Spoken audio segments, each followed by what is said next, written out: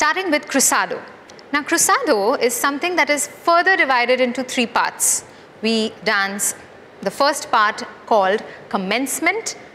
As a man, I'm going to start off with the right foot going back, left foot to the side and close the right foot to the left foot.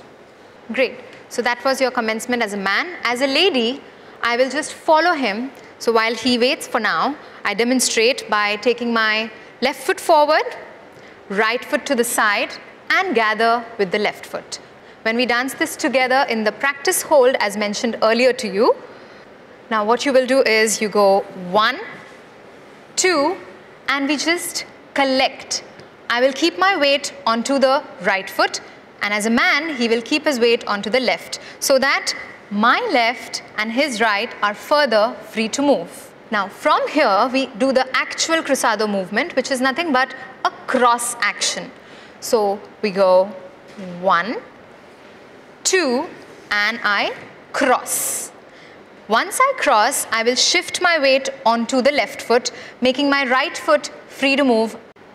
Okay?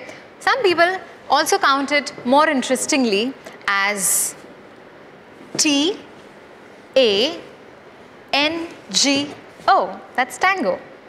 Now, from this point, like I said, I shift my weight onto the left. Now, I release my right foot and we do the resolution, that is finishing the step.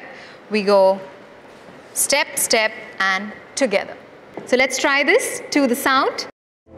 One, two, three, four,